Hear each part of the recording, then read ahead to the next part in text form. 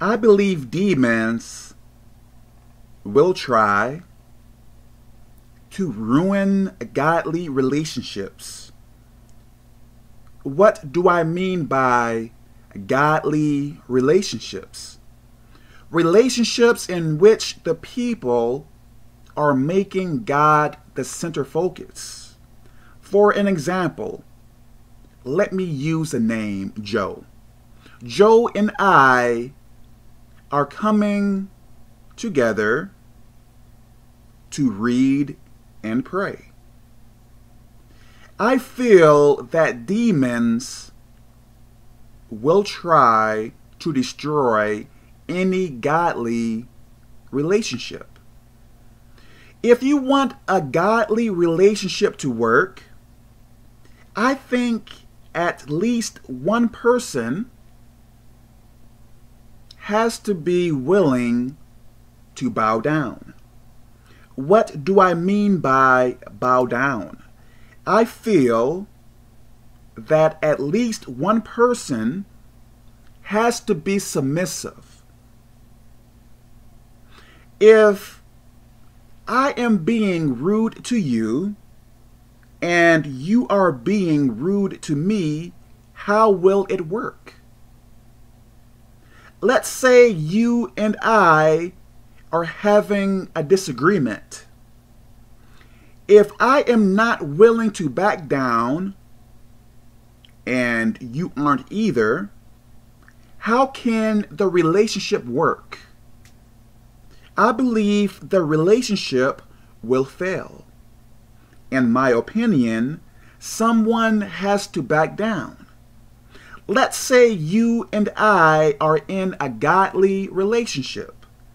Let's say demons begin causing confusion between the two of us in the effort of trying to get us to separate.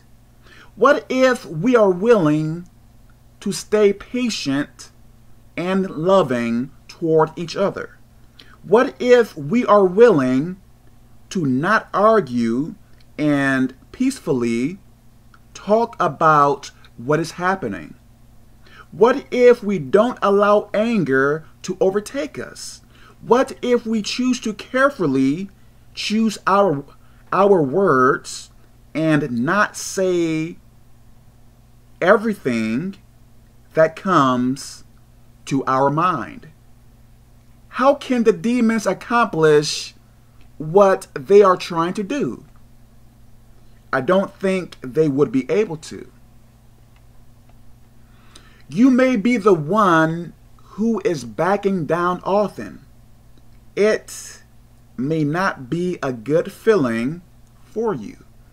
If a person continues to back down, I feel God will step in and fix the situation.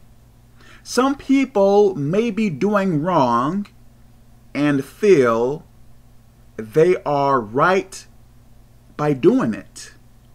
Some people may be doing wrong and not know that they are doing wrong. If you are willing to yield, I feel God will communicate to the person you are having an issue with. Perhaps sometime later, later, that person may come back and apologize to you. I believe we all make mistakes and don't believe yourself to be better than anyone. Stay humble. Let me stop here. God bless you.